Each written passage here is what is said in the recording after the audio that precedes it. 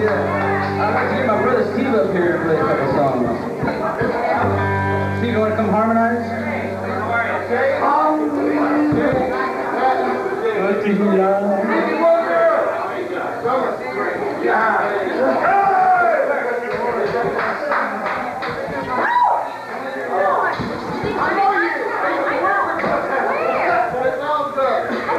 Perry, be quiet. Sit down, Perry.